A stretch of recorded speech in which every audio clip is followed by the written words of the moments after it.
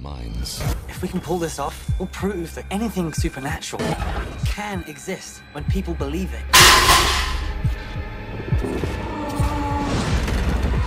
The experiment was a success.